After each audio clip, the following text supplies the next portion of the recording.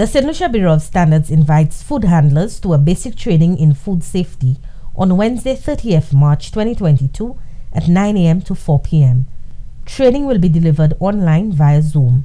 To register, visit our website at slbs.org or call 4530049. Make food safety and hygiene your business.